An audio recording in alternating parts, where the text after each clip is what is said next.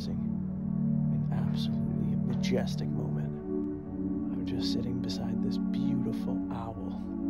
This owl's been hunting here for a little bit of time. I've probably slowly worked my way in over 20 minutes. And he's just hunting this open field because of the snow melt. You can see some of these field rats, these field mice running around. What a beautiful bird.